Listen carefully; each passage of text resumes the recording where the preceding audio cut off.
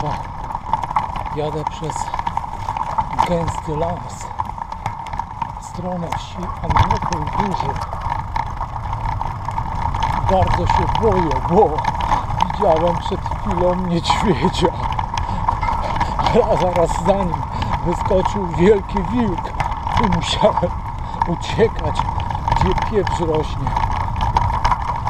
O Boże, co za przeżycie. Mówię wam.